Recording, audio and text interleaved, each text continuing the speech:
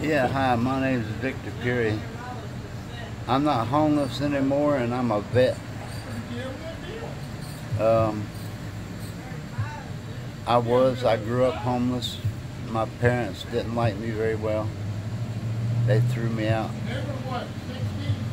So I lived on the streets until my stepfather divorced my mom.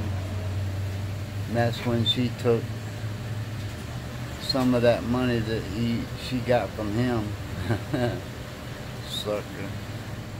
And uh, spent some on me to get me a house. So you're on disability now, and Yeah, I'm and, on and you got your disability own place here. Things are going much better. But you, but you've had some rough times. Yeah, I've had a lot of rough times. Well, I appreciate you speaking with me, and I hope hope you and your wife have a good day today. God bless you. Thank you.